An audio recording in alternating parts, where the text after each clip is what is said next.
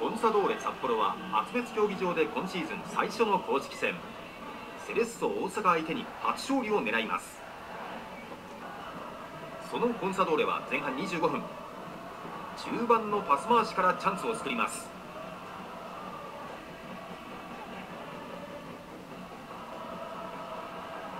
日高がオーバーラップからクロス。そして最後は近藤祐介。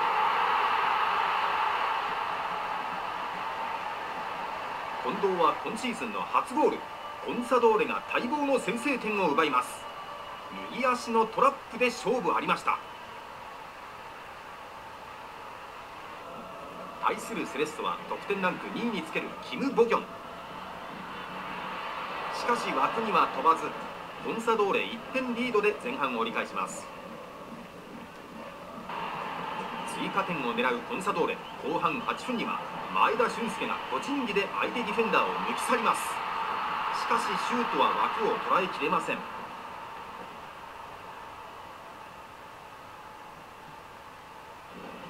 同点を狙うセレッソ。後半21分には丸橋がロングシュートを放ちますがこれはクロスバーに阻まれます。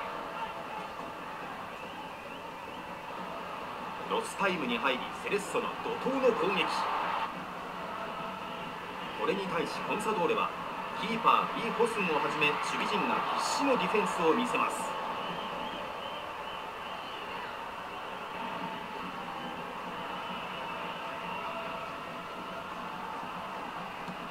そして1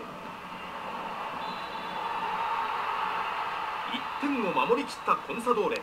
開幕9試合目にして待ちに待った初勝利です。